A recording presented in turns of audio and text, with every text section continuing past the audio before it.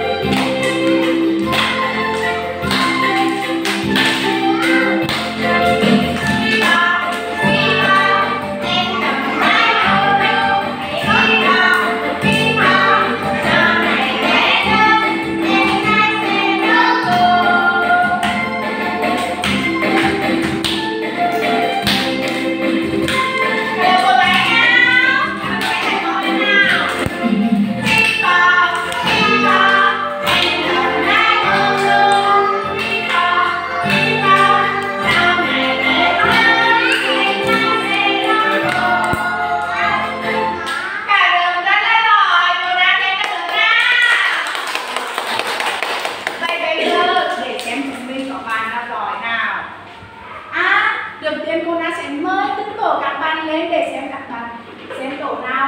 À, Thấy đúng nhá. Bây giờ có mời tổ đầu tiên, tổ thỏ tặng nào. Lên đó lên